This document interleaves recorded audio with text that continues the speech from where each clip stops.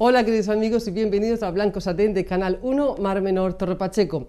Me veis con esta mascarilla puesta y eso significa que ya tengo a mi invitado sentado aquí en este programa. Se trata de uno de los alcaldes de la comarca del Mar Menor y aquí hoy me acompañan los tres alcaldes tanto de San Javier como de San Pedro del Pinatar como de Torre Pacheco.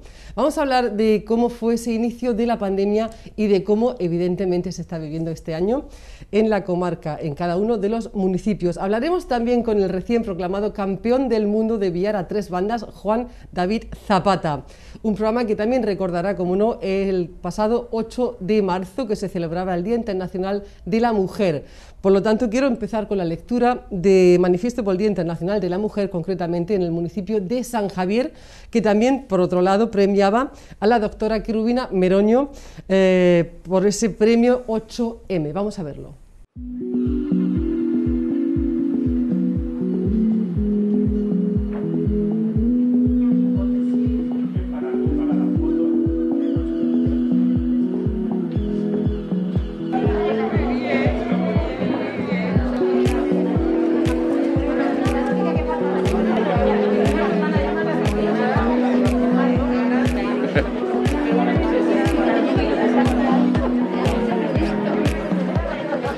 Eres tú quien te defines como mujer y no los estereotipos que la sociedad tiene de ti. Tú puedes ser lo que quieras, tu independencia económica te da la libertad. Con estas palabras de Simone de Beauvoir quiero dar la bienvenida a todos los que esta mañana estáis aquí conmemorando esta fecha única. La ya citada autora definió el feminismo en 1963 como una manera de vivir individualmente y una manera de luchar colectivamente. La mujer ha sido definida en relación al varón como madre, esposa, hija o hermana, por lo cual sostiene que la principal tarea de la mujer es reconquistar su propia identidad específica desde sus propios criterios. La crisis nos está descubriendo la necesidad de valorar de manera justa la contribución de las mujeres al bienestar de la sociedad. Es el momento de entender el valor del trabajo y su reparto.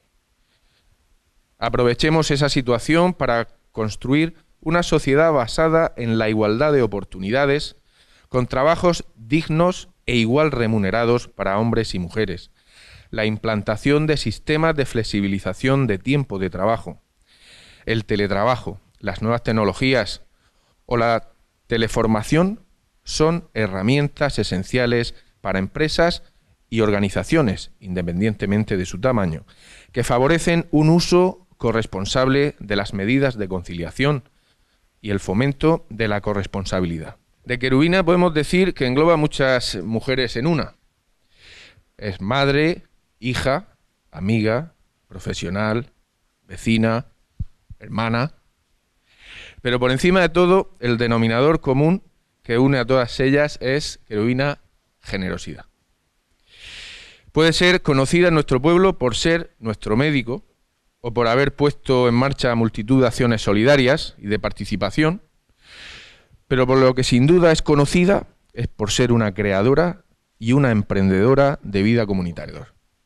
Por todo ello es merecedora de un reconocimiento como el que le entregamos hoy en presencia de todos los vecinos, premio 8M a una mujer ejemplo de tesón, solidaridad y entrega a los demás. Felicidades, Querubina.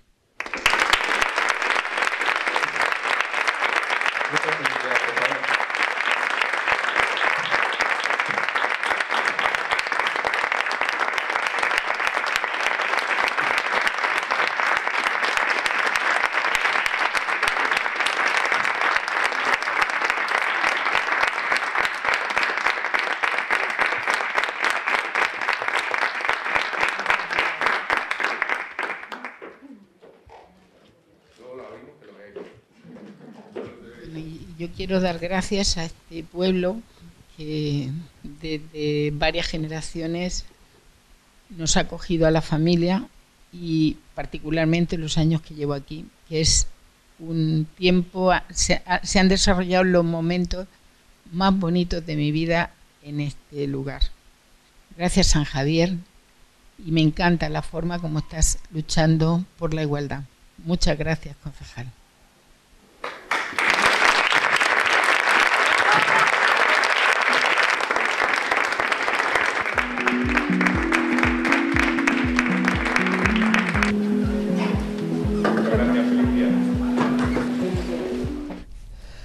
Premios eh, que evidentemente que se dan cada año a las mujeres más destacadas del municipio. Querubina Meroño este año ha sido premiada con este premio 8M en el municipio de San Javier, donde fue leído el eh, manifiesto por el alcalde del municipio, alcalde que se encuentra sentado aquí en Blanco Satén. Bienvenido, José Miguel Luengo, a Blanco Satén. Muchísimas gracias, Carmen, es un placer, como siempre. Un placer el mío y además gracias por asistir con mascarilla, que es lo que tenemos que hacer todos para dar ejemplo, ¿no? Pues sí, es que además es obligatorio. Es algo que hubo un momento en el que nos decían que no hacía falta, después que sí, y ahora es obligatorio. Así que yo creo que todo el mundo se ha acostumbrado ya y creo que es importante y además creo que la vamos a llevar durante una temporada. Exactamente, nos tenemos que acostumbrar a ella y ya tiene que formar parte de nuestras vidas. De momento para curarnos en salud, nunca mejor dicho. Sí, sí, sí. José Miguel, eh, la semana que viene va a ser esa semana donde realmente eh, hará un año donde oficialmente se proclamaba ese estado de alerta eh, por lo de la pandemia, ¿no? Aunque sí es verdad que el municipio de San Javier se adelantó unos días. Pues sí, porque la verdad es que eh, las alertas habían saltado ya, acordados de aquella manifestación de precisamente del 8M, que generó tantísima controversia, ¿no? Parece que a partir de ese día empezamos a saber más cosas y la gravedad de lo que estaba sucediendo y de lo que iba a venir. Bueno, pues efectivamente recuerdo aquel eh, comité COVID que se estableció en el Ayuntamiento de San Javier y decidimos en, muy pocas horas, además nunca, nunca olvidaré en aquella reunión eh, que estaban todos los técnicos del ayuntamiento, de las diferentes áreas, y me acuerdo que le decía a mi buen amigo, el concejal de, deporte, creo que mañana hay que cerrar las instalaciones deportivas, en la piscina y tal. Y, él me miraba como, como diciendo, pero se ha vuelto loco. Eso fue a las 8 de la tarde aproximadamente. Al día siguiente, a las 9 de la mañana, ¿eh? fijaos qué, qué, poco tiempo, ¿no? Para él y para todo el mundo era evidente en tan poquitas horas. Que Aquello fue... a una velocidad tremenda. Exactamente. Entonces, pues sí, sí, no, nos anticipamos. Es cierto que la primera ola en la región de Murcia también se anticipó el, presidente y tuvo pues menos impacto, ¿no? No como esta tercera ola, que hemos tenido eh, y hemos estado en, en, muchas ocasiones angustiados, ¿no? En fin, un año ya. La verdad es que pasa el tiempo rápido. ¿Cómo se vivió personalmente em, ese momento? Porque claro, todos lo vivimos en estado de shock realmente, aunque sabíamos que bueno, pues ya el coronavirus, habíamos oído hablar de él en los informativos, sobre todo nacionales, eh, también en los locales, aquí, por ejemplo, en esta televisión, en los autonómicos, pero lo veíamos como algo lejano. Pero ¿cómo lo viviste como personalmente y como alcalde, no? esos primeros instantes. Pues lo viví con eh, con, preocupación y además como había empezado la legislatura muy difícil. Desde que le cayó el primer avión en la, de la patrulla Águila en el 26 de agosto del 19, el 13 de septiembre del 19, la peor dana que ha habido en la región de Murcia, bueno, y en provincias eh, también limítrofes en los últimos 100 años, que fue desastroso. Después otro accidente aéreo con dos eh, fallecidos. El día de San Francisco Javier, otra dana que arruinó esos días las fiestas del patrón. Eh, la crisis del Mar Menor, que, fue muy dura también, a consecuencia, y yo creo que esto es importante destacarlo, ¿no? sobre todo de, de que el 10% del total del agua era agua dulce, agua que había llegado por aquella dana y ocasionó tantos episodios que, vimos incluso aquel terrible de, anoxia. Eh, el 21 de enero otro gran temporal. Antes, bueno, justo después el eh, tercer accidente aéreo. En fin, estaba siendo una legislatura muy complicada, muy difícil. Y cuando empezamos a escuchar esta historia de, bueno, pues, se, hablaba de Wuhan, todo el mundo hablaba de Wuhan, que había un virus por allí, se veían unas escenas, eh, entonces parecían muy exageradas. Claro, sí, pero lo veíamos como muy lejos, ¿no? Muy lejos. Eh, y bueno, aquello. como algo eh, terrible, pero muy lejos. Y empezamos a ver que eso llega a Europa y de qué manera, bueno, pues preparándonos ante algo absolutamente desconocido, también con una serie de directrices que distorsionaban cualquier tipo de, objetividad a la hora de tomar medidas, porque incluso lo que decía antes, ¿no? se nos decía que la mascarilla no era obligatoria, que era algo, bueno, pues, secundarios, no se le quitaba, se le quitaba importancia. Bueno, no había se dijo que era como una, gripe, ¿no? Sí, que era una gripe, que como mucho, todos recordarán, ¿no? Como mucho dos o tres casos aislados, ya cada vez que nos dice alguien de eso, como mucho serán dos, ya yo creo que, no, que nos asustamos mucho, todo lo contrario, ojo con esto. Y bueno, pues la verdad es que bueno, em, tuvimos mucha coordinación, fíjate, eh, Carmen, entre los alcaldes de la zona y el presidente. nos eh, reunía por videoconferencia todos los, todas las semanas. Nos daban novedades y ahí sobre todo teníamos la oportunidad de hablar entre alcaldes, porque al final, eh, ¿qué hacemos desde nuestras competencias? Ahora se ha hablado siempre de competencias, pero aquí han sido muy importantes. Entonces, dentro de las competencias que tiene un ayuntamiento, ¿qué podemos hacer para tratar de eh, parar esto? Bueno, pues que eh, con el toque de queda, aquel quédate en casa, todos esos días que pasamos en casa, sin colegio, sin, asistir a nada más que a los puestos de trabajo considerados como esenciales, pues teníamos la oportunidad de conversar y trasladar allí pues las inquietudes de, pues, de todos los alcaldes y nos íbamos enriqueciendo eh, todos pues de las acciones que estábamos tomando unos eh, y otros y haciendo propuestas ¿no? eso nos sirvió eh, mucho todas esas reuniones para, para, coordinarnos con nuestros vecinos y bueno pues lo hemos ido sobrellevando. Parece mentira que haya pasado un año porque hubo un momento o han habido varios momentos donde parecía que el tiempo no pasaba. Sí, que pero ahora echar la vista atrás no y, ha, pasado, eh, ha pasado ya un año.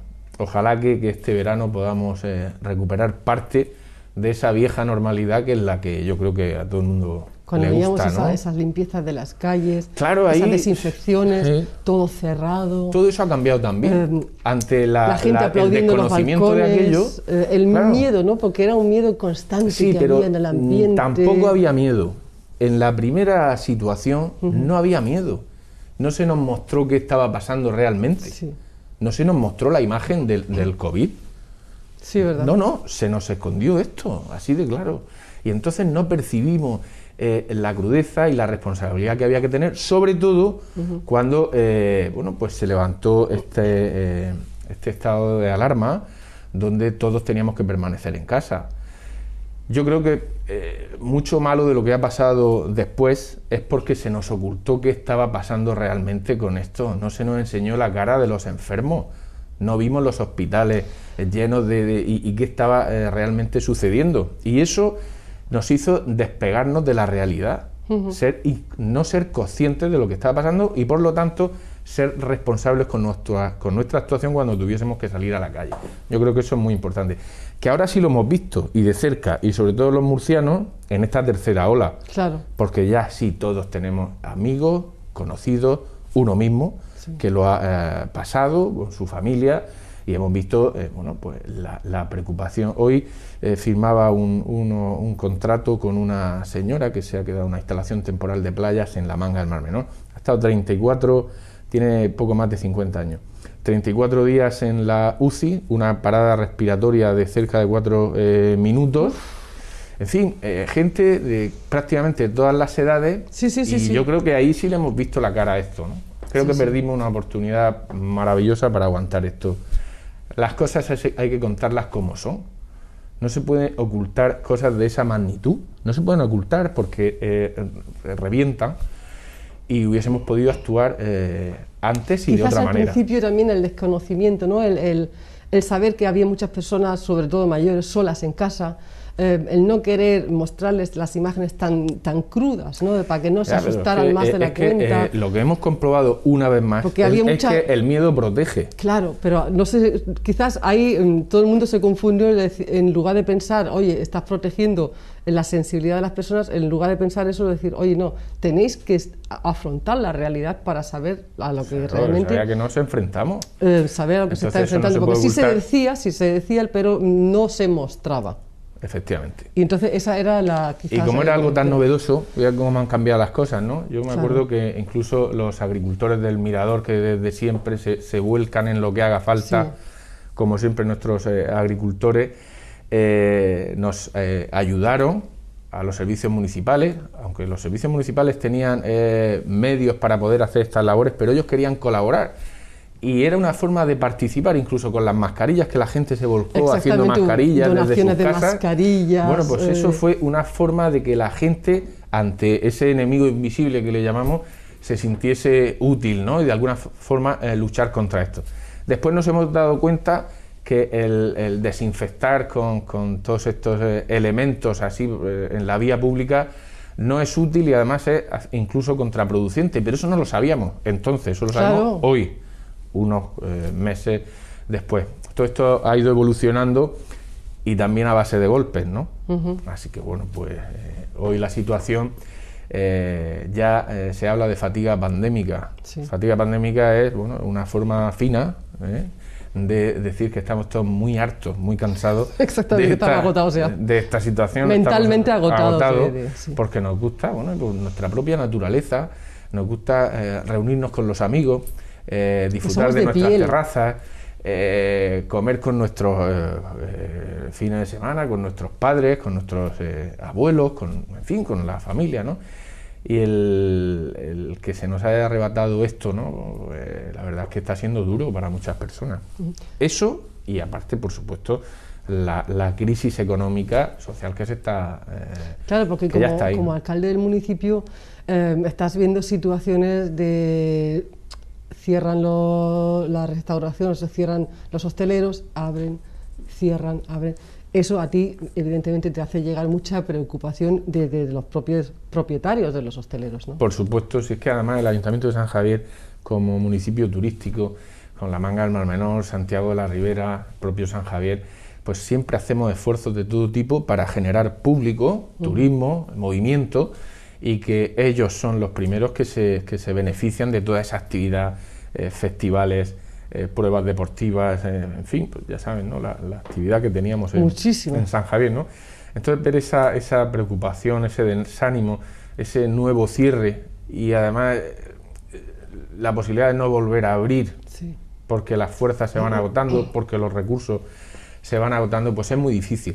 Pero no solo el sector de la, de la hostelería, que es seguramente el más evidente, alrededor de ese sector y de otros la situación es tremenda. Por ejemplo, en los festivales, la gente que se dedica al sonido, a la imagen, colegas vuestros, lo están pasando fatal porque no hay nada. El mundo de la cultura, el mundo artístico es terrible lo que Dificilísimo. Queremos hacer algo en verano con nuestros festivales.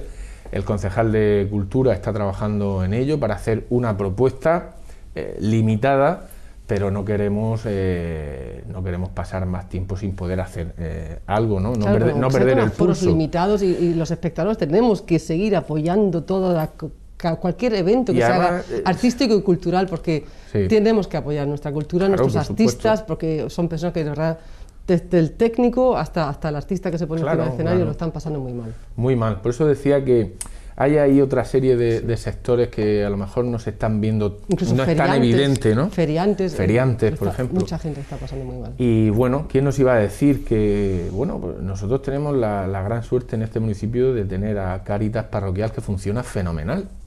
Tenemos un convenio con ellos que hemos doblado en cantidad eh, económica de eh, unos 45.000 euros a más de 80.000 precisamente para hacer eh, correa de transmisiones nuestros, entre nuestros servicios sociales, que también desde ahí ayudamos, y también con la Asociación Niñito Jesús, que hemos subido también esas cuantías. Pero es que además creamos que no nos había hecho falta hasta el momento un banco de alimentos, un banco municipal eh, de alimentos que ha dado eh, muy buen resultado. Yo animo a las empresas que nos puedan estar viendo o particulares a participar con el Banco de Alimentos de San Javier en un local que, una familia pues nos ha dejado gratuitamente para que lo utilicemos para este fin.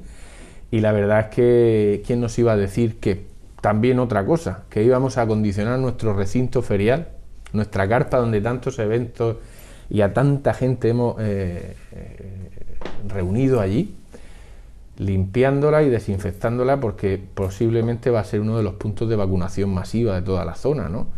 En fin, pues, han cambiado muchísimas cosas. Creo que mm, de todo hay que aprender y de esto eh, también. Y hay que afrontar también el futuro con, ilusión y con esperanza. Yo lo decía en la aprobación de los presupuestos municipales. Primero, eh, partidas económicas para ayudar a los comerciantes, a los eh, hosteleros, al sector hotelero, bonificaciones fiscales, no cobrar las terrazas tampoco este año, retrasar tres eh, meses la tasa eh, de basuras para todo el mundo. Bien, y después subir el capítulo de inversiones un 62%, porque hay que generar empleo. Y además son infraestructuras y obras que no es solo eh, mejorar servicios urbanísticos de una zona, que, hay que hacerlo, sino infraestructuras que van a generar posibilidades para los comerciantes, para los hosteleros, como el Centro Cultural Aeronáutico Patrulla Águila, como el Centro de Emprendimiento de, de, Santiago de la Ribera, como las obras del Parque Almansa, la renovación de la avenida Academia, eh, de la avenida Aviación Española, perdón, en fin, una serie de actuaciones que es inversión, que es generar empleo en el municipio, pero es que además cuando estén terminadas y en funcionamiento, pues eh, también van a mejorar esas eh, oportunidades. Por eso, ayudar a la gente, pero hay que transmitir también ilusión. Hombre, por supuesto. Hay que transmitir que, aquí no hay nadie con los brazos abajo. Y de hecho la vida sigue, la vida Que la vida sigue, tiene que continuar y estamos deseando eh, que esto mejore, que las restricciones se puedan levantar con garantía para volver bueno, pues, eh, a la carga de un municipio que quiere transmitir que, puede prácticamente con, todo, que se ilusiona, que por diferentes motivos tiene recursos, pues desde nuestra agricultura, que es la mejor de Europa, como todo el mundo sabe, hasta pues recursos naturales como nuestras islas, el Mar Menor, la Manga del Mar Menor, nuestra Academia General del Aire, la Universidad del Deporte, en fin, tantas cosas que tiene eh, San Javier para eh, motivarse y para generar ilusión y esperanza a todo. Bueno, la Universidad del Deporte em, ha sacado ese proyecto Recobe que está siendo pionero en el mundo entero. Y hay más buenas noticias en ese sentido. En la Facultad de Ciencias del Deporte, ahí tenemos al rector que está implicadísimo con la universidad, con la facultad en, Santiago de la Ribera, en San Javier, el decano, que además es, como sabéis, de aquí, de, Santiago de la Ribera. Inauguramos el campo de fútbol en unos días. y además vamos a continuar haciendo infraestructura y llegando a acuerdos con la comunidad autónoma y con la Universidad de Murcia para completar las infraestructuras deportivas de la facultad. O sea que hay muchas cosas por las que ilusionarse e ilusionar. Claro, sí. Hace poco podíamos ver em, ese vídeo en redes sociales de cómo eh, nos podemos hacer una idea de cómo va a ser ese nuevo parque Almansa. Pues sí, la verdad es que fue una... Que eso sí es ilusionante también. Sí, es una buena idea porque eh, es una obra muy larga, es un lugar que conoce pues prácticamente toda, todo el municipio porque ahí en el centro cívico se han celebrado, antes se celebraban ahí nuestras fiestas, ahí está vuestra biblioteca, nuestra eh, coronación de la reina, todo, comuniones, yo hice la celebramos la comunión, eh, mi hermana y yo allí, bueno, de todo, ¿no? La comisión de festejos, recuerdo, mil cosas y nuestros festivales en el auditorio, cantidad de concentraciones de vehículos eh, clásicos, de mil cosas. Entonces, como la obra dura tanto y hay tantas dudas, pues hoy día los, eh, las nuevas tecnologías nos permiten Estamos viendo imágenes precisamente. Efectivamente, nos permiten hacer una recreación para que la gente sepa pues eh, qué estamos haciendo allí. Y en un vídeo de unos 10 minutos, pues hemos explicado esto que a través de planos pues es más complicado. Ese es el, auditorio eh, eh, de invierno, ¿no? Efectivamente, donde estaba el antiguo centro eh, cívico, que ya se ha demolido, pues ahí se construye un teatro de 500 butacas, con una caja escénica de 20 metros de altura. Que hacía falta también. Que hacía falta, porque un municipio donde, que se convierte en capital de la cultura por nuestros festivales, como el de Jazz, declarado de interés turístico nacional, pues con este conservatorio y con bueno, pues eh, en una zona que puede dar tanto de sí, bueno, pues yo creo que San Javier merecía eh, tener estas infraestructuras acordes a, estos tiempos. Y que estamos deseando pues disfrutar, que disfruten. Pues yo me imaginaba el otro día allí a nuestra eh, querida sinfónica. Tocando allí, disfrutando a la unidad de música con ellos de la Academia General del Aire. Y a tanta cultura, nuestro grupo de teatro que vamos a poder disfrutar durante todo el año en esta infraestructura. Un auditorio de verano y un auditorio que se va a poder utilizar eh, ¿Para cuándo está previsto la finalización? Pues llevamos unos cinco meses de obra, pues estimamos que en marzo, abril de 2022 podríamos eh, ya disponer de, él. ¿no? Es un cambio de concepto total. El parque cede espacios a las avenidas, no hay un peldaño en todo el parque. Qué bueno, eso es importante. Que eso es importante para las personas con dificultades de movilidad, pero también para las familias que van con un, eh, con un carrito que no tendrán que eh, subir ni un peldaño en todo el parque. Además con, diferentes zonas eh, deportivas para diferentes edades con más de 200, eh, el otro día eh, nosotros decíamos ahí 200 árboles, me dice la concejal de Parques y Jardines que vamos a conseguir plantar 250 eh, árboles. Eso es, bueno, pues convertir... Eso es un pulmón, ¿eh? efectivamente. Y hablábamos de cambiar un parking que se había convertido, el Parque Almansa, por un verdadero parque, donde pues se viva la, naturaleza y la cultura y el deporte y la convivencia de todos los vecinos en, en el mismo corazón de San Javier. También esas obras de accesibilidad que, mejoran evidentemente el servicio, que como bien ha comentado con anterioridad, que se están realizando tanto también en el Mirador como en la Grajuela, no solamente en Santiago la Ribera, en San Javier. Sí, eso es un contrato que empieza a ejecutarse eh, la semana que viene y bueno, pues eh, eh, va en la línea de mejorar la accesibilidad en todo el municipio. Nosotros contamos con la, con la garantía de FANDIF, que es la Federación de Personas de Asociaciones de Personas con Discapacidad. Hace cuatro años llegamos a un acuerdo con ellos y tenemos un convenio por el cual para nosotros son muy importantes porque revisan nuestros proyectos tanto en plano como después en obra y para nosotros es una garantía de accesibilidad. Fandir nos revisa incluso la accesibilidad en playas. Y eso es lo que queremos hacer en todo el municipio. ¿Y quién mejor que ellos? ¿Quién mejor, que, mejor que, ellos? Evidentemente, Exactamente. Además tiene una oficina técnica con unos profesionales que la verdad es que es un encanto trabajar con ellos. Y eso eh, se va a hacer en el Mirador, se va a hacer en la Grajuela, pero también en el resto eh, de pedanías, por esa importante inversión que, se ha planteado en los presupuestos municipales que están en vigor desde hace eh, dos meses. Y ahí se podía ver también la avenida Aviación Española, que se une a la Calderón de la Barca, que ya se ha hecho, al Parque Almansa, y es todo como un conjunto, ¿no? Eso eh, va a dar un, cambio como, como, dio Calderón de la Barca hasta la eh, zona de la Policía Municipal, ¿no? que conocemos todos. Qué bueno, sí, sí, sí. Y los bloques de aviación española. Pues ya tengo muchas ganas de verlo. Sí, yo también. Yo también. Y de pasarlo, porque la hora hay que pasarla. sí, pero bueno, también se va pasa. a ser difícil. también se pasa. También pero se, pasa, ahora, evidentemente, es difícil, el momento siempre de las obras son difíciles. Pero tiene mucha falta esa avenida de aviación española y tenemos mucha ilusión. Y además es que esta infraestructura, hay que decirlo, eh, el 80% eh, lo financia Europa con unos fondos que consiguió el Ayuntamiento de San Jaime en el año 2016 y que estamos ejecutando ahora. Gracias a, esos 5 millones de euros que consiguió el Ayuntamiento de fondos europeos, pues estamos pudiendo hacer estas infraestructuras en una época difícil. Sí. Sí, pero bueno, que, ese dinero evidentemente hay que invertirlo y hay que invertirlo bien como se está invirtiendo y que luego se agradece cuando las obras están terminadas, uno disfruta de la, terminación y de lo que ya pues, se ha hecho. Pues sí, la verdad que sí. Desde luego. El senador murciano Francisco Bernabé defendió la pasada semana en la Cámara Alta una moción de que el PP eh, fue, que por el PP, que fue además aprobada ¿no? en el Senado, en el que instaba al Gobierno de España que agilizara la contratación de las obras de la urbanización de la Ciudad del Aire de Santiago de la Ribera, donde además estuviste presente.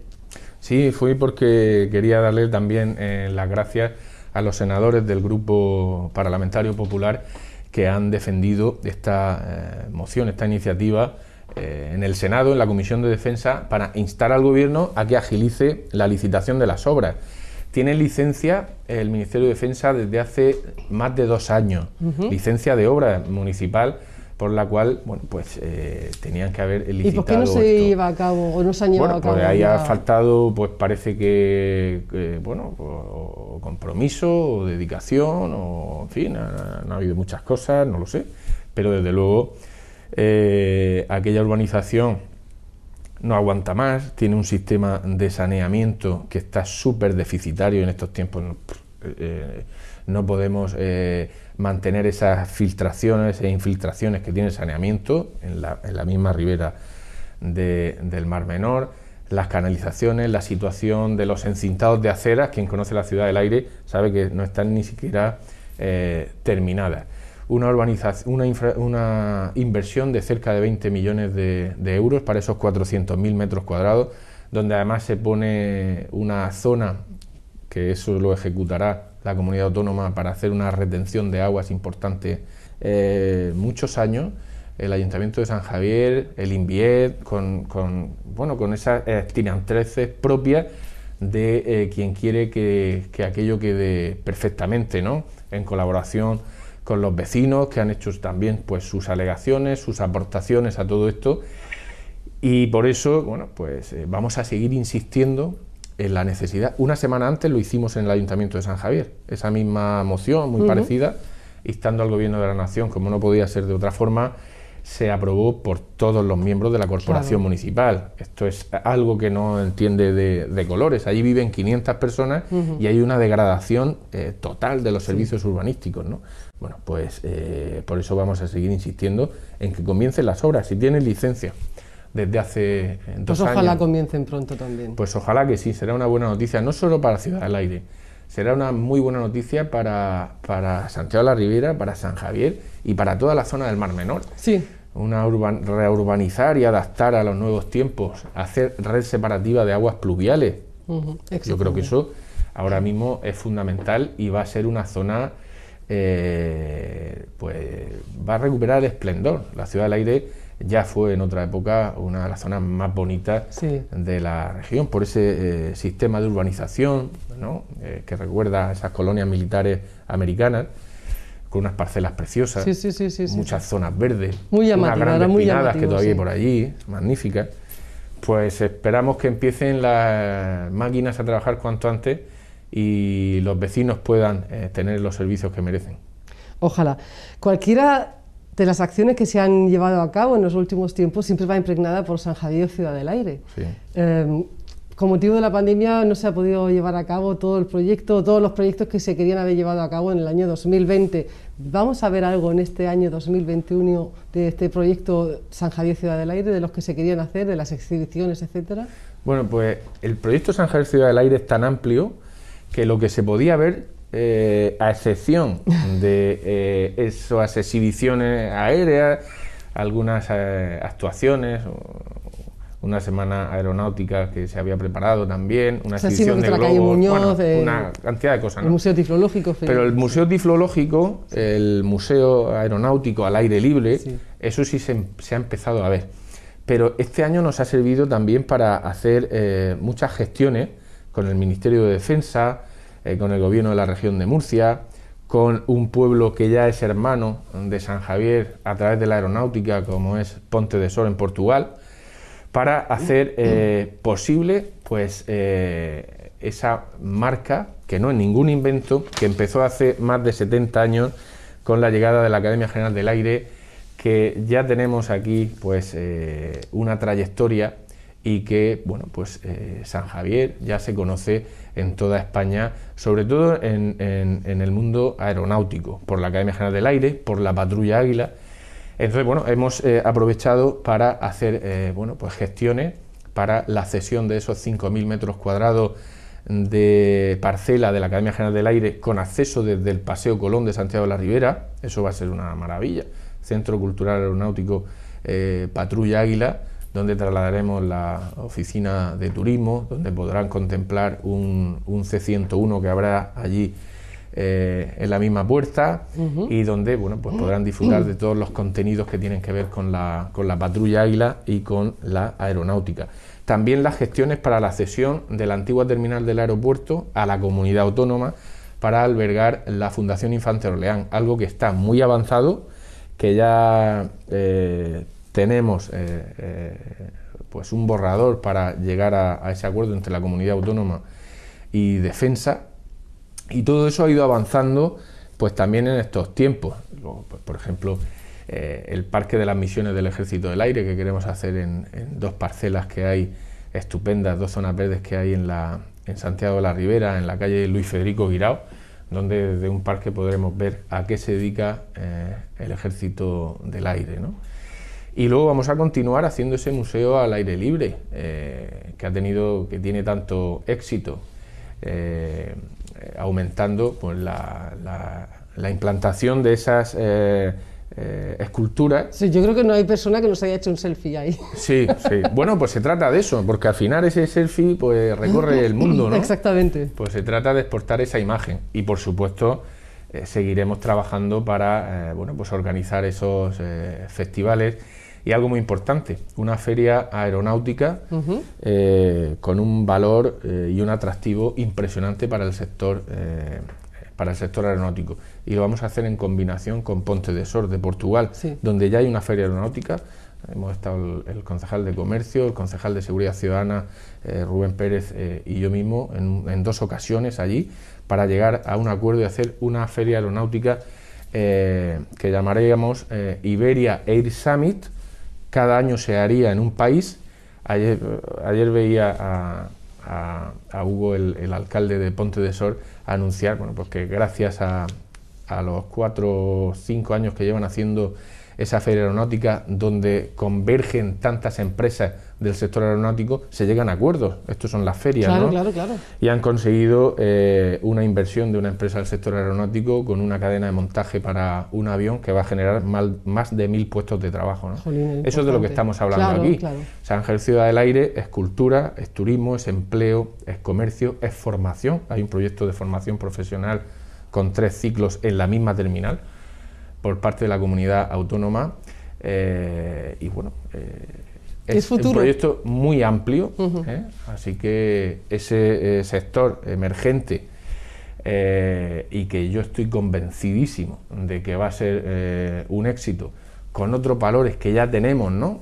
Y que tenemos que seguir protegiendo y estimulando, como es nuestro sector agroalimentario tan potente y que es un, un orgullo, más allá de que algunos lo hayan querido denostar por alguna plástica de algunos. Yo rompo siempre una lanza a favor de nuestros agricultores porque en esta eh, zona, en nuestra tierra, en el, eh, en el Mirador, en Pozoledo, en la Grajuela, pues tenemos bueno, pues a los artífices de haber hecho unas infraestructuras con unas calidades Sí. eh, revisadas por mercados muy exigentes en cuanto al medio ambiente, con el mercado alemán o el mercado inglés, y que han demostrado que estamos De hecho, en capacitados para Alemania hacer... hay, hay cadenas eh, naturales, o sea, biológicas, ecológicas, que solo compran a San Javier. Efectivamente, y eso hay que contarlo, ¿no? A lo mejor hemos pecado de no contarlo mucho y por eso a lo mejor se, se nos ha comido el terreno totalmente. en otra parte. Pero hay que, hay que, compra- eh, hay que eh, señalar al que no lo hace bien y recordarlo rápidamente, pero al que lo hace bien o lo hace muy bien, también hay que, hay que animarlo y, y decirle además que, que gracias por esos eh, cientos de puestos de trabajo Sí. y, y lo que han estado haciendo. ¿no? Y luego el sector turístico, que hay que seguir potenciando y hay que seguir poniendo eh, temas eh, en valor, como en la manga del Mar Menor o en Santiago de la Ribera. ¿no? Desde luego que sí. Mucho que hacer, ¿eh? Muchísimo, Carmen? desde luego. Para finalizar, ¿cómo le gustaría que terminara este año 2021 que acaba de empezar? Bueno, pues a mí me, me gustaría que terminara con una Navidad como las, como las que hemos estado viviendo eh, en San Javier, con esa alegría en las calles, que la gente pueda comer y disfrutar eh, pues con su familia, con sus amigos, esos tardeos eh, en Santiago de la, de la Ribera. En fin, la gente disfrutando de, de- de lo auténtico, de la vieja normalidad. La Me encantarían esos eh, conciertos en la plaza de San Javier, en la explanada Bar Nuevo, disfrutar de, de ese recibimiento que le hacemos a sus majestades los reyes, tan bonito, ¿no? Y, Sí. que, bueno, pues emociona. Y me encantaría eso, ¿no? Y si previamente hemos podido disfrutar también de las fiestas de San Javier, pues bueno, pues Mejor. mejor, todavía. Así que bueno, eso sería señal de que estamos bien, de que hemos superado eh, esta mala racha, esta mala situación y que, bueno, pues eh, volvemos a, a despertar después de un letargo provocado por este, por este virus, ¿no? Pues Nada, que nos ha cambiado la vida. Estamos luchando contra él y estoy Eso es lo que me gustaría, que la gente recuperase sus empleos y que recuperásemos el pulso con, con impulso. Con impulso, desde luego, el pulso con impulso. Alcalde, muchísimas gracias. Nada, gracias a Ha vosotros. sido todo un placer, que sí. siempre hablar de San Javier y de retos y de, de proyectos. Muchas gracias y cuídate mucho. Muchas gracias igualmente. Gracias. Nosotros seguimos, porque también en San Pedro del Pinatar, evidentemente, se celebraba el lunes 8 de marzo el 8M, el Día Internacional de la Mujer. En este caso venía la lectura del manifiesto de la voz de su alcaldesa Visitación Martínez. Hoy celebramos el día 8 de marzo, Día Internacional de la Mujer. Una fecha en la que cada año reivindicamos el camino abierto por miles de mujeres a lo largo de la historia en la lucha por la igualdad de género. Una meta común de la que todos debemos ser partícipes, buscando alcanzar una sociedad donde la igualdad plena sea real. Por eso, desde el Ayuntamiento de San Pedro del Pinatar trabajamos en áreas muy diversas, con el objetivo de dar visibilidad y empoderar a las mujeres, prevenir y denunciar conductas violentas o discriminatorias por razón de género, y educar en valores como el respeto y la igualdad. Nuestro objetivo, hoy 8 de marzo y cada día, es hacer de San Pedro del Pinatar un municipio más igualitario. Pues ahí teníamos esa lectura del manifiesto online por el 8M de la alcaldesa de San Pedro del Pinatar, que por cierto se encuentra aquí ya a mi lado en Blanco Satén. Visitación Martínez, alcaldesa de San Pedro del Pinatar, bienvenida a Blanco Satén. Muchísimas gracias, estoy encantada de estar aquí de nuevo. Un placer tenerte aquí conmigo, gracias por llevar la mascarilla. Y bueno, pues comenzamos además, eh, sobre todo hablando de este COVID-19 que nos acompaña ya lamentablemente un año. El día 15 aproximadamente se hace ese lamentable aniversario en el que se decretara el estado de alarma, y, pero que se adelantó en la región de Murcia unos cuantos días. ¿no? ¿Cómo lo tomasteis en San Pedro del Pinatar y tú como alcaldesa, cómo lo afrontasteis? Pues en San Pedro del Pinatar, desde el primer momento en que la Organización Mundial de la Salud decretó que estábamos ante una pandemia eh, mundial, empezamos a tomar medidas.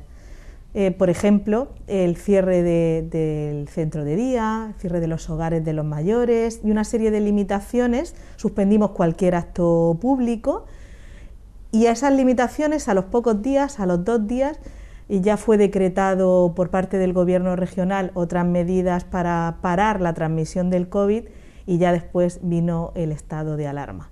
La verdad es que ha sido un año que nunca hubiéramos, ni en el peor de nuestros sueños, hubiéramos imaginado. Eh, tener este, bueno, es un pueblo irreconocible, unas ciudades irreconocibles, un país así. La verdad que se está haciendo muy largo, muy largo porque no pensábamos nunca que fuera a durar ni muchísimo menos un año y lo que queda, porque esto no ha terminado. Y la verdad que es un, golpe fuerte, un golpe fuerte para, para, muchas personas, para personas que, que han estado enfermas, bueno, ya no hablemos de las personas que han perdido a un ser querido, para las personas que se encuentran en un ERTE o que han perdido su empleo. La verdad que es una situación extremadamente complicada. Yo eh, me voy a esa, a esa tarde, noche, ¿no? a, esas mañanas cuando salía la meganofonía diciendo mm, que todo el mundo se fuera a sus casas, que confinamiento total, ese shock, ¿no? ese impacto que nos generó a todos. ¿no? Sí, porque nunca habíamos pensado que pudiera llegar algo así. Era una película de terror, de esa que, de ciencia ficción que, que veíamos, ¿no? Hasta entonces, algunos, que algunos otros ya no la vemos. Sí, sí, esto Hemos perdido el cariño a esas películas. De estar confinados en nuestras casas ha sido un golpe fuerte, un golpe tremendo. Pero yo de verdad que me acuerdo mucho y me solidarizo muchísimo con las personas con las que han estado enfermas que aún eh, tienen secuelas, con los que han perdido a, su padre, a su madre, a los abuelos, a un hermano. Que lo están pasando muy mal. Que lo están pasando fatal y como decía, y desde el punto de vista ya del empleo, de la economía, pues también un duro golpe del que nos va a costar mucho salir. Desde luego un duro golpe que va a costar salir personas que, se están aferrando ¿no? a ese puesto de trabajo a ese comercio, a ese restaurante, cafetería, bar que puedan tener, pero que cuenta con el cierre, la apertura, el cierre, la apertura y que ya no da para más, ¿no? Las fuerzas económicas se han agotado. Sí. Y las fuerzas mentales también. Sí, sí, yo creo que lo más importante es la vida. Tenemos que tener en cuenta que todas las medidas que se tomen para salvar vidas eh, eh, son incuestionables. Y una vez tomadas esas medidas, hay que intentar salvar todo lo demás.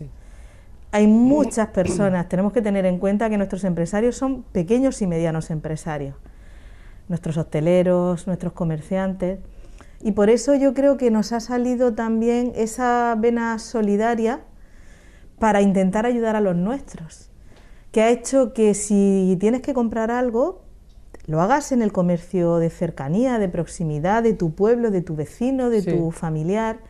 Y en cuanto a la hostelería, pues también. La hostelería es un sector que está sufriendo mucho, un sector yo creo que de los más o el más castigado por las restricciones y también tenemos que hacer ese gesto de solidaridad con ellos, les tenemos que ayudar, no solamente como institución, que lo estamos haciendo desde el principio como ayuntamiento, también me refería a nivel personal. Claro, como vecinos. Hay que echar una mano a, las personas de nuestro entorno, porque al final el, el, bar de la esquina es de alguien conocido, el comercio puede ser de un amigo, de un familiar, y yo creo que eh, en el caso de los pinatarenses nos estamos volcando dentro de las medidas de las posibilidades de cada uno.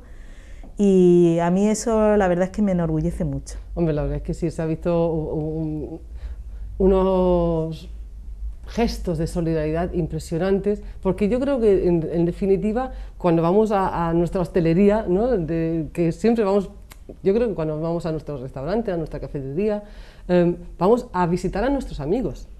Claro. Porque ya mm, los dueños de la, o, los camareros, las camareras los consideramos parte de nuestra vida también, ¿no? Entonces hay una cierta confianza y, y, es como los voy a dejar ahí en la estacada dentro de mis posibilidades, pues se puede pedir algo a domicilio o, puedo pedir algo para llevarme luego a casa. O, eh, cuando no se podía quizás todavía tomar nada en las terrazas, pues yo creo que es un gesto que todos debemos hacer para ayudar a, esas personas que también conocemos y que se han convertido en nuestros amigos también. Sí, y hay una cosa con la que le podemos ayudar muchísimo también. Y es en el cumplimiento de las normas. Hombre, pues eso por supuestísimo, eso es que no debería caber No es justo que estas personas, estos empresarios, estos comerciantes, estos hosteleros sobre todo, que han sufrido restricciones para intentar precisamente salvar vidas, no es justo que cuando vayamos a un comercio no cumplamos las normas, no es justo que cuando nos sentemos en una terraza no las cumplamos, tenemos que ayudarles. Hombre, claro. Nosotros como usuarios de estos servicios, de estos restaurantes, tenemos que ayudarles, tenemos que ayudar para que su esfuerzo no se tire a la basura y no vayan nuevamente hacia atrás. Es que lo que no cabe en la cabeza es que todavía haya quien no cumpla las normas. Pues desafortunadamente pasa. Es verdad que mm, hay mucha conciencia, la mayoría de las personas cumplen, pero también es verdad que hay personas que no les entra en la cabeza. Y por eso en los servicios de, de policía tienen bastante trabajo porque todavía hay gente que te cruzas a diario que lleva la mascarilla bajada o que la lleva en el codo o, que, directamente no la llevan. o que no la llevan y eso no es justo, no es justo con tantas personas que están haciendo tantos esfuerzos y que han perdido tanto como estos pequeños empresarios a los que yo me refería. Desde luego, ahí vas toda la razón del mundo y, además es algo que, que, siempre sé que me hago muy pesada en este programa, pero siempre os apelo que por favor seáis muy responsables y seamos todos muy responsables, yo la primera evidentemente, seamos todos muy responsables para con nosotros mismos y sobre todo para nuestro entorno, ¿no? que siempre esa mascarilla puesta, distancia social, que aquí también la cumplimos, y em, sobre todo lavado frecuente de manos con agua y jabón o gel hidroalcohólico en el caso de que no podamos lavarnos con agua y jabón en ese momento. Perdóname Carmen, pero aprovecho este momento porque conforme ha ido evolucionando esta pandemia hay unas normas que a lo mejor al principio no estaban encima de la mesa, pero que son fundamentales. Y quería aprovechar para recordárselas a todos nuestros televidentes. Eh, ahora que todavía hace fresco, muchas veces tendemos a cerrar todas las ventanas, a no tener ventilación en nuestras casas o en cualquier establecimiento y se ha demostrado que la ventilación es fundamental. Esas partículas que flotan en el aire y que son las que hacen que nos contagiemos con una buena ventilación eh, se reduce muchísimo el riesgo. Luego hay otra cuestión que también es muy importante y es que cuando una persona eh, ha sido diagnosticada de coronavirus, no es suficiente con que se confine en su casa. Tiene que evitar no contagiar al resto, o sea, tiene que evitar contagiar, mejor dicho, al resto de la familia. Y por lo tanto, no solamente hay que confinarse, sino que además hay que aislarse en la habitación. Claro. Son dos cuestiones fundamentales en las que ahora las autoridades sanitarias están incidiendo mucho pero de las que no se hablaba al principio. Sí. Y es importante que las recordemos para que se interioricen y para que todo el mundo las cumpla. Desde luego, si no, hay que cumplirlas. Eh, sí es verdad que se pasa un poco de fresco con las ventanas siempre abiertas, pero para eso están eh, los chaquetones, las mantitas y, oye, pues se puede trabajar igual, se puede hacer las cosas igual, en casa se puede estar igual, eh, un poco más abrigado, no pasa nada. Por eso estamos en invierno, ya llegará la primavera y el mejor tiempo y el verano y estaremos muy a gusto, pero bueno, ya lo peor ha pasado del frío, yo creo que también, ¿no? Sí, luego que tenemos en, en nuestra área de salud, tenemos muy metida la variante británica. Sí. Es que el 90% de los casos ya son de variante británica Mm. y esta variante es extremadamente Es contagiosa. muy contagiosa, sí. Entonces tenemos que evitar, en la medida de nuestras posibilidades, ese contagio a las personas con las que hayamos podido estar. Y luego muchas personas que también eh, están ah, esperando um, el resultado de una prueba de PCR y mientras esperan el resultado, sí es verdad que siguen haciendo una vida normal. Eso no puede Eso ser. es terrible, Eso me parece terrible. Eso no Esa puede ser. irresponsabilidad me parece, menos mal que son muy pocos, pero sí las hay, que los hacen. Claro, es que cuando una persona eh, tiene la gripe, pues tiene fiebre y ya se queda en su casa. El problema de este mal virus, de este mal bicho, Sí, es que tú puedes tenerlo y no saberlo. sí. Si tú haces vida normal, estás contagiando. Si a ti te hacen una prueba y estás esperando el resultado, te tienes que quedar en tu casa, que es lo que te dicen las autoridades sanitarias. No se puede hacer vida normal por el hecho de que estés esperando una prueba. Desde luego. Hace un año íbamos a estar hablando así, Visi. Era impensable. Era impensable, desde luego que sí. impensable. Impensable la desinfección pen- constante de las calles, que sí, ¿verdad? Que, hombre, tiene una limpieza eh, constante en San Pedro del Pinatar, pero esa desinfección tan exhaustiva eh, que se eh, está haciendo desde hace un año para acá, ¿no? Eh, y, y todo lo que se ha hecho en el municipio, donaciones de mascarillas, eso era impensable, ¿verdad? Sí, la verdad es que esta pandemia tan dura ha sacado el lado más solidario de nuestros vecinos.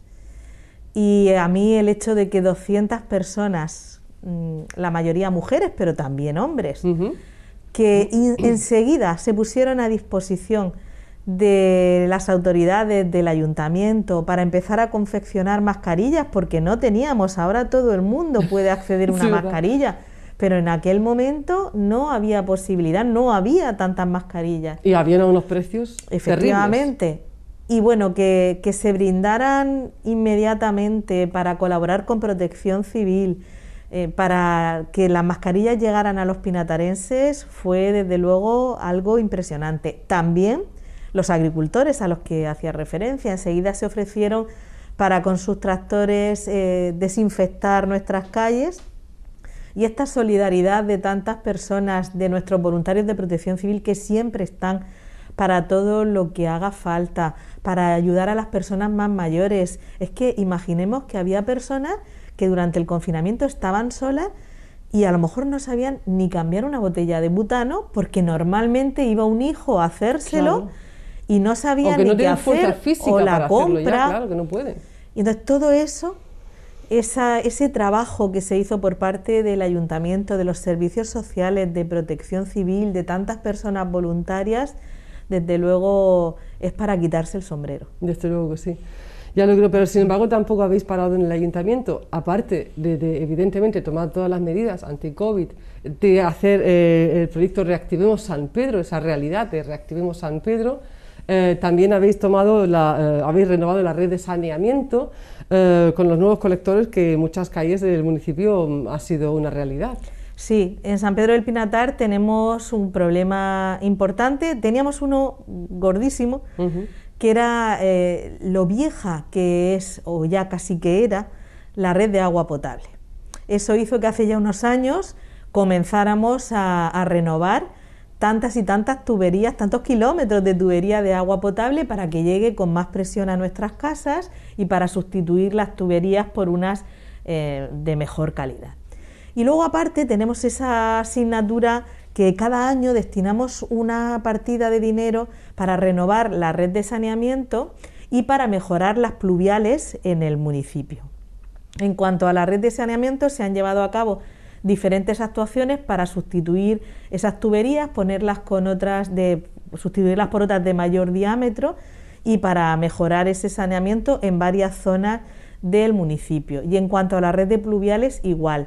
Hemos actuado en diferentes zonas, por ejemplo, en la zona de los Antolinos, en la zona de, de Villa Alegría, en diferentes zonas. Eh, el saneamiento en la zona de, Talasia, eh, bueno, son muchas zonas de San Pedro y de Lopagán donde hacían falta esas actuaciones.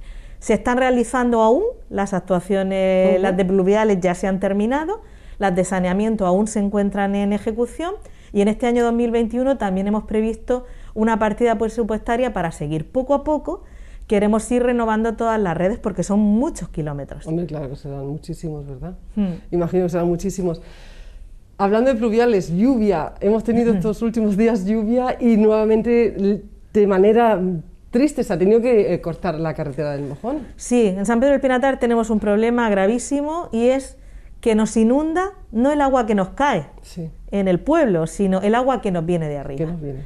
Y otra vez más, a la media hora de empezar a llover, pues la carretera del Mojón se ve eh, inundada, hay que cortarla para garantizar la seguridad de las personas y otra vez el mojón cortado, aislado y la carretera llena de agua y luego llena de, barro y, de lodo. Nosotros vemos imprescindible que se actúe en las cabeceras, que se actúe aguas arriba, porque por mucho que nosotros ampliemos las rejillas de pluviales, por mucho que en el municipio hagamos actuaciones, si no se actúa arriba por parte del organismo de cuenca, no podemos, eh, el agua que nos viene ya no la podemos frenar, busca su cauce, busca el mar, ya no podemos hacer nada con ella. Entonces lo importante es que se hagan actuaciones arriba que impidan que ese agua llegue al municipio. Y en ello estamos. Yo mm, sé que es una actuación compleja, es una actuación costosa, afecta a varias comunidades autónomas, a dos comunidades autónomas, a varios municipios. Sé que no es fácil, pero es que es imprescindible. Es imprescindible porque tenemos que garantizar la seguridad de nuestros vecinos y luego el lodazal que se queda allí. Y bueno, ya no digamos si entra agua a las casas. Y, lo llevamos sufriendo ya unos cuantos años. Y esto tienen que ponerse ya en marcha porque esto no, no, no se puede sostener ya. No, no se puede sostener de ninguna manera, y toda la razón del mundo. Estáis también con la remodelación de los paseos marítimos en San Pedro del Pinatar, que eh, tenían que haber finalizado, creo que para estas fechas, antes de Semana Santa o por las fechas de Semana Santa, sin embargo han pedido una prórroga para el 15 de mayo, ¿no es así? Sí, la empresa adjudicataria, la que está realizando la obra, ha pedido una prórroga amparándose en una serie de, cuestiones relativas a las pluviales, precisamente, unos cambios que ha habido que hacer en el proyecto y también eh, justificando que el COVID también les ha afectado en cuanto al transporte de materiales, etcétera, etcétera. Han solicitado una prórroga que la dirección facultativa ha considerado que está justificada y por lo tanto el ayuntamiento ha dado esa, esa prórroga. Estamos mm, pues, deseando que, que, esa obra pueda terminar porque es una infraestructura muy necesaria para, para el verano, para que esta es, es la plena orilla de, eh, la fachada marítima. Y necesitamos pues que se pongan las pilas y que terminen y que, cumplan los plazos para que, pues, que, la podamos disfrutar todos en este verano. Vox ha sido muy crítico, ¿no? Vox eh, de San Pedro Pinatar ha sido muy crítico con esa prórroga. Sí, bueno, hay quien no entiende por qué se hace una infraestructura eh, de esa naturaleza, pero al mismo tiempo esa infraestructura lleva una red de pluviales, precisamente. Yo lo que no entiendo es que por un lado se critique una obra que lleva una red de pluviales y por otro lado se pida explicaciones de por qué no hay pluviales. Yo creo que hay que ser coherentes, hay que no vale pegar tiros al aire y hablar por hablar, sino que esa infraestructura de modernización, de accesibilidad de nuestro paseo, de incorporación de carril bici, de mejora de pluviales, la entendimos necesaria, se redactó el proyecto, está en ejecución y yo creo que las bondades de la obra se verán nítidamente cuando esté terminada y la podamos disfrutar. La disfrutaremos todos, estoy segura. en el último pleno y haciendo referencia al día 8 de marzo, que es el Día Internacional de la Mujer, que además fuiste eh, la persona encargada de hacer la lectura del manifiesto por ese día tan importante, pero en el último pleno celebrado en el Ayuntamiento de San Pedro se reclamaba eh, o se ha reclamado la igualdad real de derechos entre hombres y mujeres. Sí, la verdad es que me hubiera gustado, como en otros años anteriores, haberlo podido leer como una declaración institucional. Y no pudimos hacerlo precisamente porque eh, hubo un partido político que no se quiso adherir a la declaración. Por lo tanto, el resto de partidos, Partido Socialista, Ciudadanos y PP, nos unimos para hacerlo como moción conjunta. Yo creo que es incuestionable que hemos avanzado mucho, hemos avanzado mucho en la igualdad de derechos, de oportunidades entre hombres y mujeres, pero yo creo que también es incuestionable que queda todavía camino por andar. Y yo creo que lo que menos necesita la lucha por la igualdad son ideologías.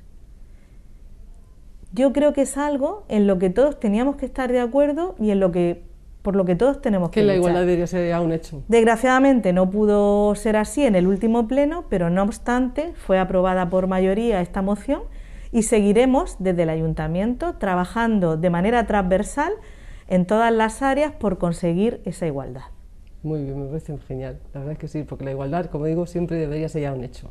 Claro, y además una igualdad eh, para la que somos todos necesarios. No se trata de una igualdad con exclusiones, no, se trata de sumar. Exactamente. Y entre todos conseguir que todos tengamos esa igualdad de derechos, de oportunidades. Desde luego que sí, me parece muy bien.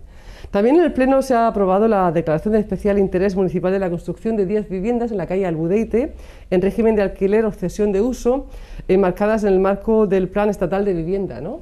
Sí, 10 vecinos de San Pedro del Pinatar se ponen de acuerdo y constituyen una cooperativa para construir unas viviendas al amparo del Plan Estatal de Vivienda. Estos vecinos han obtenido ayuda del Estado han obtenido una subvención también de la comunidad autónoma y al ayuntamiento eh, le piden que les bonifique una parte, el 50% del impuesto para la construcción. Nosotros entendimos que es el fomentar el alquiler de viviendas que luego además pueden acceder a la propiedad al cabo de los 25 años, es una cesión de uso y al cabo de los 25 años se puede acceder a la propiedad, es una fórmula que como fomenta el alquiler, pues era, eh, tiene un fin social y por eso se aprobó esa bonificación del 50% del impuesto que les corresponde pagar. Me parece muy bien.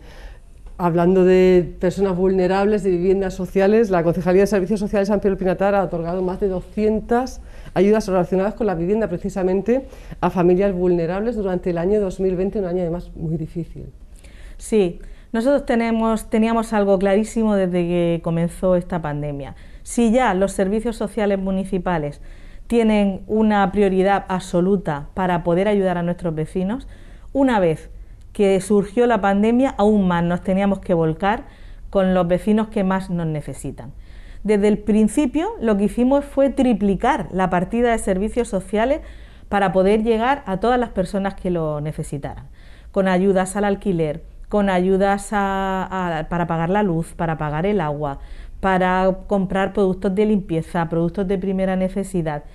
Y así eh, comenzamos incluso a, ayudar a, algunas personas que, no, son tradicionalmente usuarias de servicios sociales, pero que sí, como consecuencia de la pandemia, pues su situación había empeorado y mucho y para nosotros desde luego tienen, como decía, una prioridad absoluta todas estas ayudas porque no queremos que nadie se quede atrás, no queremos que nuestros vecinos dejen de poder pagar el agua por falta de recursos o dejen de pagar la luz o dejen de pagar un alquiler. Es que eso tiene que ser terrible, la verdad es que sí, más si te encuentras sin, sin, que nadie te ayude. Entonces, que tu ayuntamiento por lo menos esté ahí diciendo, oye, mira, estoy aquí para darte la mano y poder ayudarte en este difícil camino, pues la verdad es que tiene que aliviar un poquito. También habéis em, hay, em, de alguna manera aumentado ¿no? la dote a, tanto a Cáritas como a Cruz Roja. Sí, también hicimos una aportación extraordinaria, en parte también gracias a las asociaciones deportivas del municipio de San Pedro del Pinatar. Nos reunimos con ellas durante los primeros meses de la pandemia. Ellas no podían hacer la actividad deportiva que inicialmente estaba prevista. Y bueno, fueron muy generosas y una parte de, su subvención eh, fue renunciaron a ella, por llamarlo de alguna manera, para poder aumentar la subvención a Caritas y a Cruz Roja y así se hizo. Es muy importante. Nosotros, gracias a las ayudas de estas asociaciones, pues podemos llegar entre todos a más personas. Y sobre todo la ayuda que prestan es ayuda alimentaria. Y nosotros tenemos un proyecto, que es el proyecto de cesta solidaria, que lo tenemos ya unos cuantos años, en los que complementamos las ayudas que ellos obtienen del banco de alimentos, que normalmente son alimentos no perecederos, pero se necesita alimentos perecederos también. Claro, por supuesto. Y nosotros con Caritas, el proyecto que nos presentaron es ese, el ayuntamiento contribuye económicamente para poder a las personas a las que se le ayuda con alimentos suministrarles alimentos no perecederos y alimentos perecederos.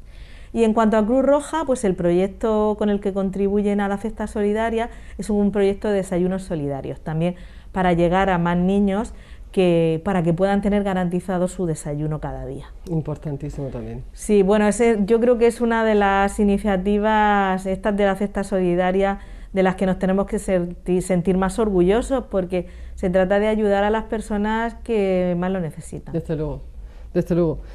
Y también estáis enhorabuena porque el Museo Barón de Benifayó, que tantas alegrías ha dado en estos últimos años, está de aniversario, concretamente cumple 20 años. Sí, empezó hace 20 años en los bajos de un edificio, del edificio de uso múltiple Joaquín Mellado, y hace ya 10 años se trasladó al Palacio del Barón de Benifayó, que es una joya de la arquitectura neomudéjar. Allí no solamente podemos contemplar eh, un rico patrimonio arqueológico y etnológico, sino que también se ha convertido eh, en un sitio de referencia para recuperar nuestra, nuestra identidad como pinatarenses.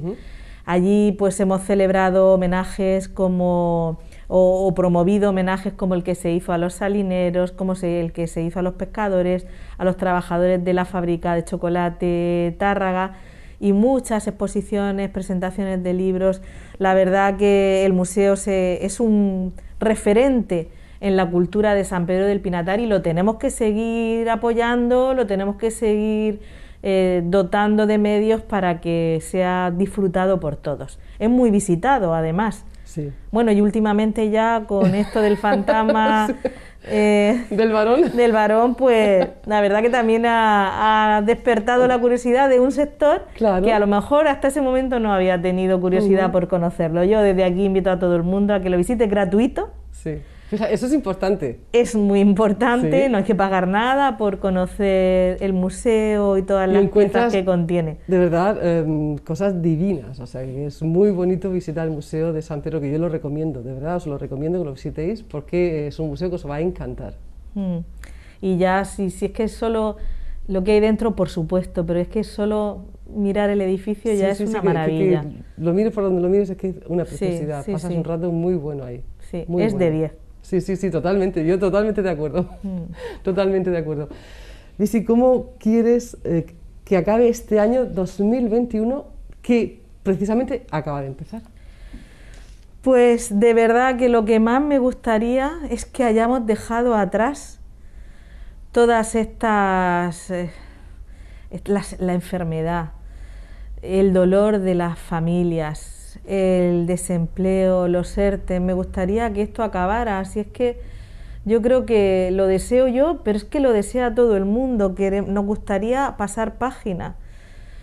Yo no sé si vamos a poder terminar el año de esta manera, pero desde luego es el anhelo con el que sueño y por el que vamos a trabajar cada día desde nuestra responsabilidad, desde el Ayuntamiento de San Pedro del Pinatar, para contribuir a que esto termine ya.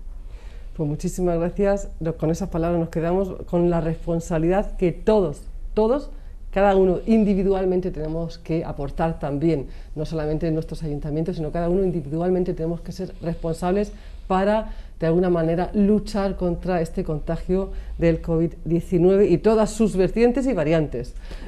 Muchísimas gracias, ha sido de verdad un auténtico placer. Muchísimas gracias, igualmente. Cuídate mucho. sí, gracias. Cuidar mucho. Bueno, pues también evidentemente en Torre Pacheco se celebraba el Día Internacional de la Mujer. La lectura del manifiesto por el Día Internacional de la Mujer, el 8M, viene de la voz de su concejal de mujer, Vero Martínez.